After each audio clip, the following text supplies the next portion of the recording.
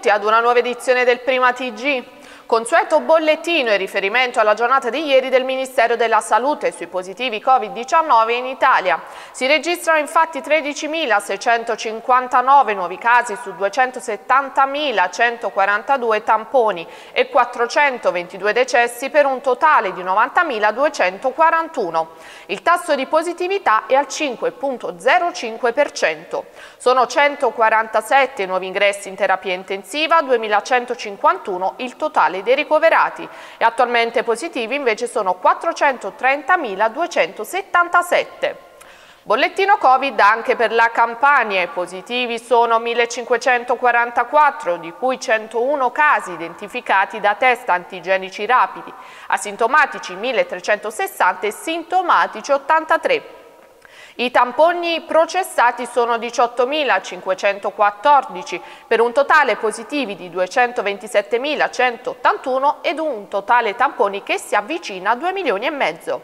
I deceduti sono invece 36, dei quali 11 nelle ultime 48 ore e 25 deceduti in precedenza ma registrati soltanto nella giornata precedente. Parliamo anche dei guariti, sono 1276 per un totale di 160.976. Ricordiamo anche il report dei posti letto su base regionale per offerta pubblica e privata. I posti letto di terapia intensiva disponibili sono 656, occupati 100. I posti letto di degenza disponibili sono 3160, occupati 1468. Sono iniziate le consultazioni per un possibile governo Draghi. Aperture al tentativo di Draghi sono arrivate anche da Silvio Berlusconi, dallo stesso Luigi Di Maio e dalla sindaca di Roma Raggi. Mentre Di Grillo ha dichiarato, rivolgendosi ai deputati 5 Stelle, di difendere al tavolo l'agenda Conte. Intanto, a quanto si è appreso da diverse fonti parlamentari del Movimento 5 Stelle, Grillo è arrivato proprio a Roma. Il garante del movimento giunge nella capitale proprio mentre lo stesso partito è alle prese con la posizione da prendere rispetto al governo Draghi.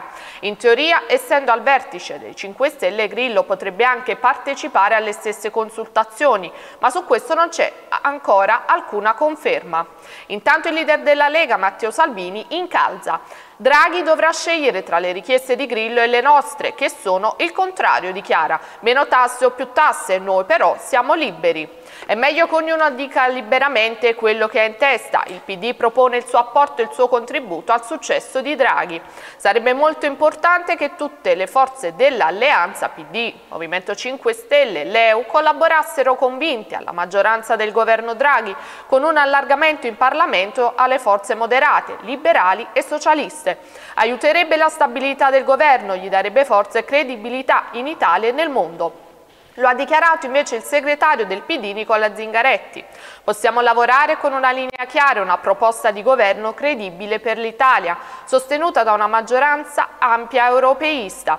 Come ha correttamente detto anche Andrea Orlando, il PD deve fare di più, lavorare come stiamo facendo in queste ore per garantire al professor Draghi una maggioranza con un profilo programmatico forte per affrontare i problemi che l'Italia ha davanti.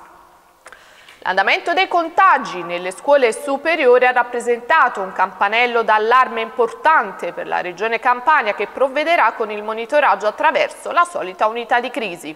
I risultati potrebbero portare a un nuovo stop della didattica in presenza già dal 15 febbraio e quindi un ritorno alla DAD.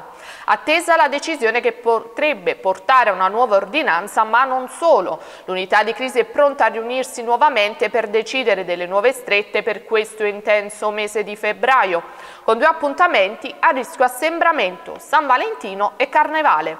Si pensa infatti a un controllo a tappeto della Movide e delle strade dello shopping, così come dei bar. Nei prossimi giorni ovviamente le nuove notizie in merito. Attesi già per oggi i dati sulla situazione scuole. È probabile infatti che nelle prossime 24 ore la Regione organizzi il piano scolastico in base all'indice dei contagi anche a livello locale Necessario infatti evitare contenziosi con il TAR. Tenendo conto delle restrizioni sia delle attività sociali che scolastiche, che scatterebbe al superamento di valori limite dell'incidenza delle infezioni per popolazione, si cercherà di valutare la strategia migliore. Il rapporto AIFA sulla sorveglianza dei vaccini Covid ha posto l'attenzione sulle possibili reazioni avverse registrate in questa prima fase, rispondendo alle domande più frequenti a riguardo. Le segnalazioni riguardano soprattutto la prima dose del vaccino, quindi Pfizer-BioNTech, che è stato il più utilizzato e solo in minor misura il vaccino Moderna. Secondo il documento dell'Associazione Italiana del Farmaco, la maggior parte delle reazioni segnalate non sono di gravi entità. Sono arrivate 7.337 segnalazioni su un totale di più di un milione e mezzo di dosi somministrate e sono riferite al 92% a eventi non gravi come dolore in sede di iniezione, febbre, astenia e stanchezza e dolori muscolari. Con il vaccino sono state osservate anche cefalee, parastesie, vertigini, sonnolenze e disturbi del gusto, mentre con il vaccino Moderna solo nausea e dolori addominali. Nel periodo, prosegue l'AIFA, sono stati segnalati anche 13 decessi avvenuti nelle ore successive alla vaccinazione, che nelle segnalazioni più dettagliate e complete dei dati non sono risultati correlati alla stessa vaccinazione e sono in larga parte attribuibili alle condizioni di base della persona vaccinata. Meno frequenti le altre reazioni locali e dolori articolari diffusi.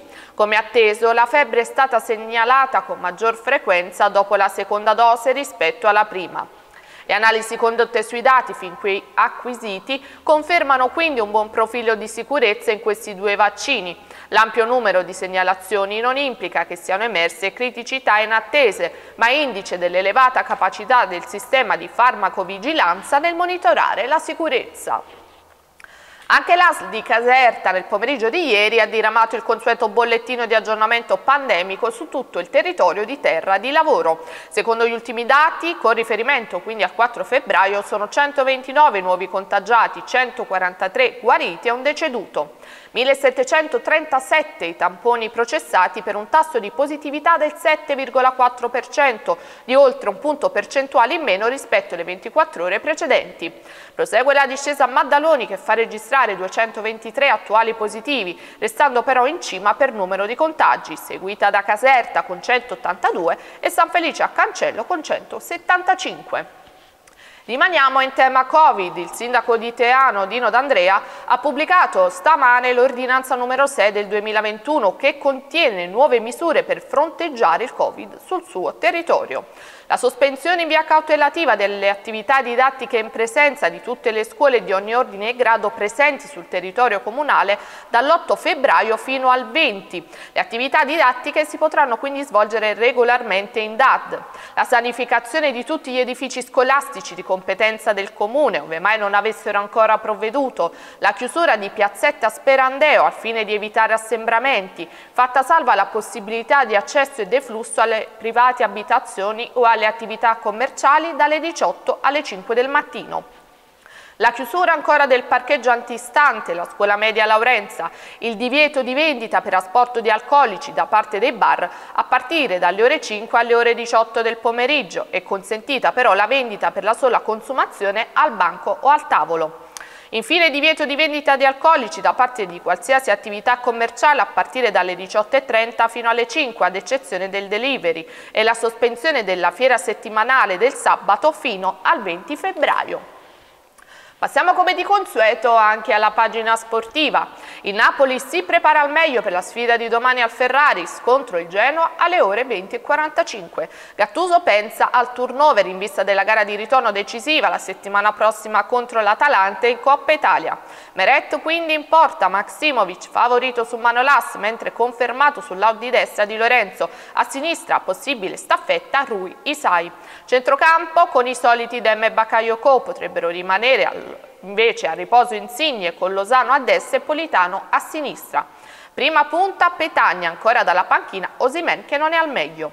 Intanto arrivano buone notizie, ma a metà Fabia Ruiz è negativo al tampone molecolare per il Covid-19, mentre stamane il risultato positivo Fosigulam.